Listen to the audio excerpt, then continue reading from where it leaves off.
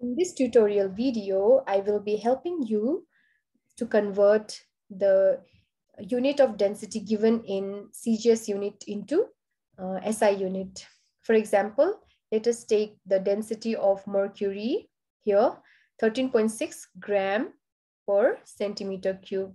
We need to convert this into SI unit in terms of kilogram per um, kilogram per meter cube.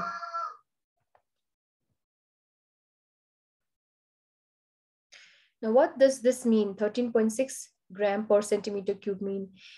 It means that 13.6 gram of mercury is present in one centimeter cube of volume, right?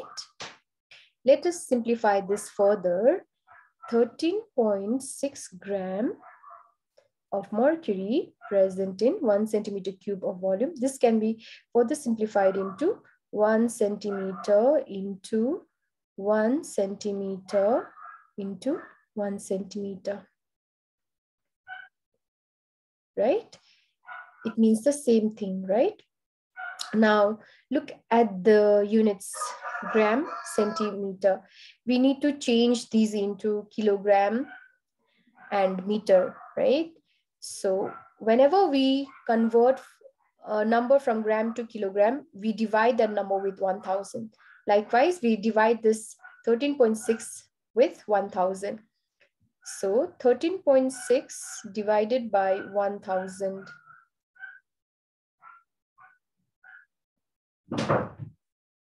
Now, this is expressed in terms of kg, right? kg. Now, these, each of these um, units must be divided with 100 in order to express in terms of meter, right? So 1 divided by 100, this is meter now. It was centimeter before. After dividing 1 with 100, it becomes meter. Likewise, we do for the remaining numbers as well.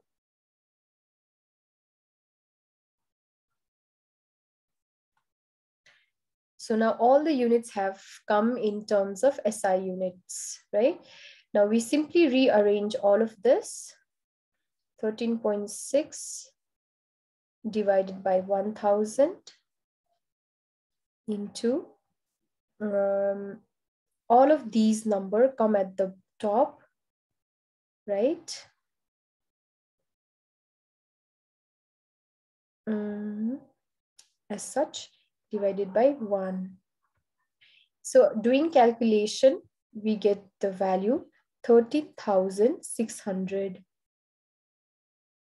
13,600 kilogram per meter cube. So this is how we have converted CGS unit into SI unit.